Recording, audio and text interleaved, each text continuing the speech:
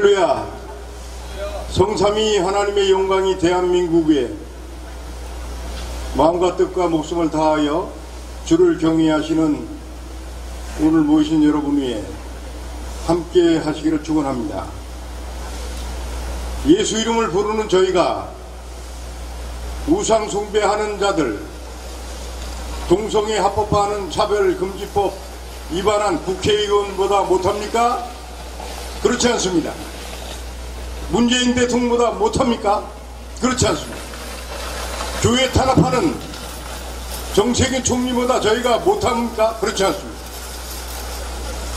사단 마귀의 역사가 교회 안에 예수 이름을 부르는 그곳에는 어, 정치를 하지 말아야 된다는 어, 그런 루트를 심어놔가지고 저희가 복음을 전하는 사이에 이 악한 그 마귀의 역사 예수 그리스도 이름을 부르지 않는 자들이 입법부 사법부 행정부를 관할하고 있을 때 다윗처럼 오늘 주제처럼 우리는 망군의 여호와 하나님의 이름으로 왔습니다.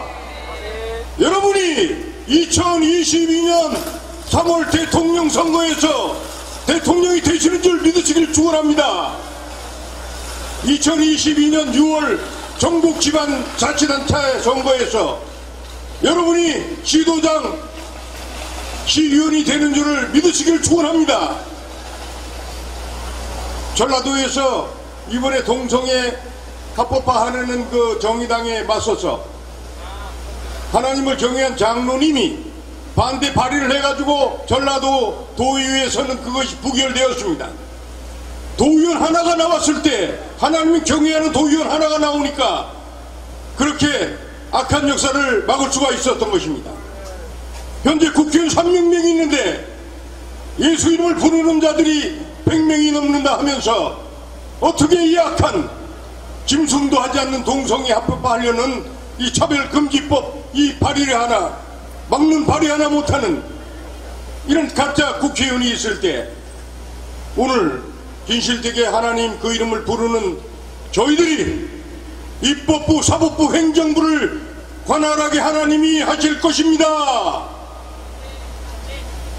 사울이 숫자로 육체로 나서 골리앗 앞에 벌벌 떨고 있을 때 하나님만을 정의하는 다윗 하나가 물맷돌을 들고 망군의 여호와 하나님 의 이름으로 나가서 저 골리앗을 칠 때에 벌벌 떨던 이스라엘이 다 들고 일어나서 마귀의 역사 골리앗 블레셋 군대를 전멸하였듯이 오늘 이후 대회에 망군의 하나님께서 우리들과 함께해서 입법부 행정부를 관할하고 멸공 복음 통일하고 통일 대한민국이 세계를 주도하고 세계를 정벌하여서 세계 복음화하게 되는 것을 굳게 믿으시길 축원합니다.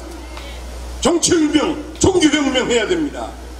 혁명은 우리가 주님이 가르쳐 주신 대로 먼저 저희가 주의 십자가를 바로 지고 저희가 날마다 바울처럼 죽으러 가면 되는 것입니다.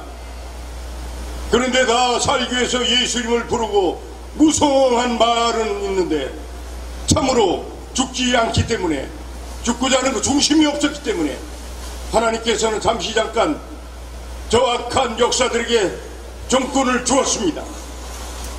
이스라엘이 불순종할 때 70년 동안을 이스라엘 밤에는 포로 잡아주신 주께서 이제 만 70년이 넘는 넘는 6.25 동산 6.25 동란을 마치고 있는 이 분단족 이제 하나님께서 5대양 6대주에 오직 대한민국만을 남북으로 잘라놓고 계시는데 이제 잠시 잠깐 후에 하나님을 경외한 다윗과 같은 그런 심령들을 연합해서 멸공하고 복음 통일하고 동일 대한민국으로 세계 복음만을 위해서 결코 대한민국의 정사와 권세는 하나님 그 이름을 진실히 부르는 자들에게 오늘 비를 맞고 모이신 여러분들에게 주실 줄을 믿으시기를 축원합니다.